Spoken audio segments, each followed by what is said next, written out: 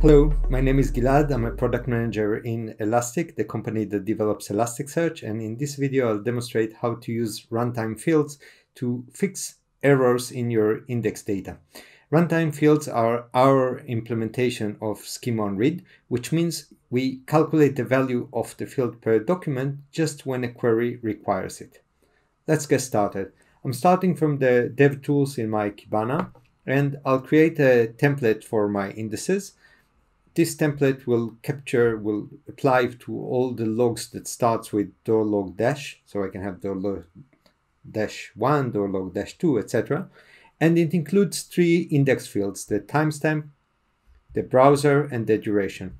All of those three are normal schema on write fields. I'll create the template and then I'll load some data into that and I'm creating a new index by loading this data. I'll call it door_log1. So it takes the, uh, it inherits from the template that we've just created. And after loading this data, I'll head on to uh, Kibana and create a new visualization that uses that in Lens.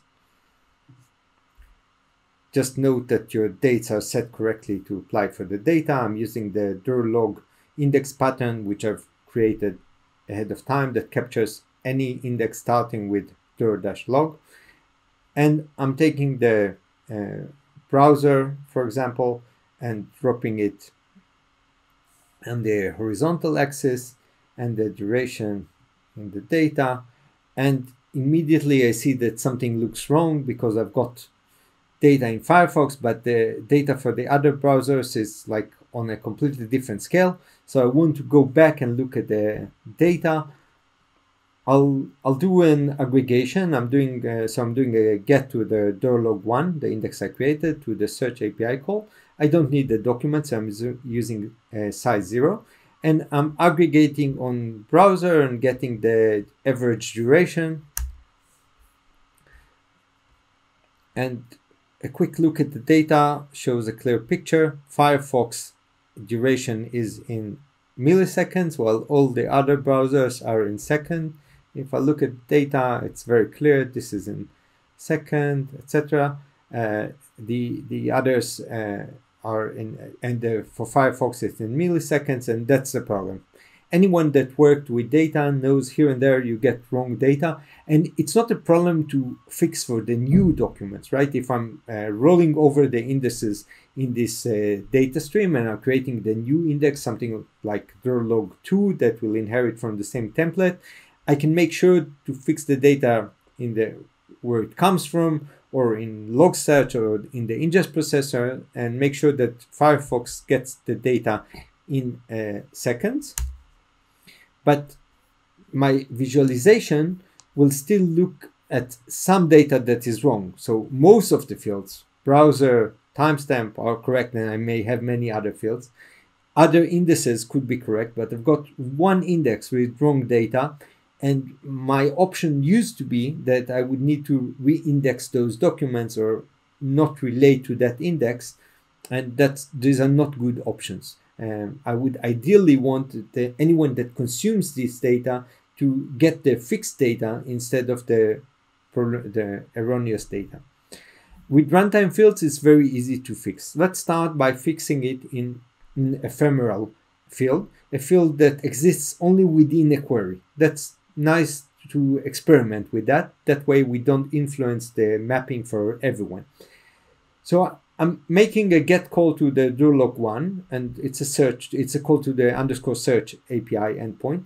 But I'm starting with defining a new runtime field. I do this in the runtime mappings section that I open, and I call my field duration. This is a key point because that's the name of the field that had the wrong information.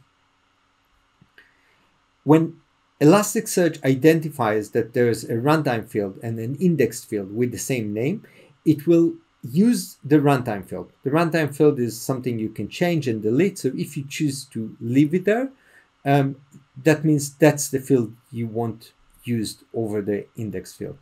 That allows us to shadow the, in, the information in the index field with the correct information in the runtime field. So I'm defining a field named duration. Its data type, its variable type is double, like the original field. And now I have a script uh, that's written in the painless scripting language. And um, here the uh, ability to define a script shines because you can define your own logic. Um, and I'm just, in this case, using a simple if to say if the information in the browser field. So this is the syntax for relating to the value of the browser field. We got the browser in parent in single quotes in square brackets with doc, and then I'm asking for the dot value. I want the value of that. If it equals Firefox, then the value I want to emit into the duration field is the value from the underscore source, params dot underscore source is where we keep the original information that got into Elasticsearch. And from there, we want the original value of the field duration. So I put this again in square uh, brackets in uh, single apostrophe and divide that value by a thousand in single quote, divide that uh, uh, value by a thousand. Else, if it's another browser, just omit the value from the source, the duration, uh, the value of the duration field from uh, the source document. And that's it. So this is my definition of the duration field. From here on, it's a normal query. And this query relates to the index field browser and to the uh, field duration there's an index field duration, there's a runtime field duration, and of course the uh, engine uh, prefers the runtime field duration. So if I run this query, I'll get the correct data. So now we have Firefox with the correct data in seconds. That's all good, but this field exists only within this query. That was nice for the development, so I don't influence anyone's data. But now I want everyone to be using uh, this field. So that's also simple to do. All I need to do is to take this section here, the whole section to do with the duration, just copy it and put it. So I'm using the put command in the log1 mapping. So I'm saying in the do log1 mapping, underscore mapping, put in the runtime section. So I'm, I'm opening a section runtime and there put the and from here on it's the same definition that we already did put the duration runtime field etc once it's there in the mapping for any request to the duration field of that index the elasticsearch will prefer the runtime field so let's add this and now it's fixed everywhere so if i go back and refresh my visualization i immediately get the corrected data i invite you to uh, start a trial environment in our cloud and experiment with this for yourselves. I'll paste the uh, calls that I use below. Thank you very much.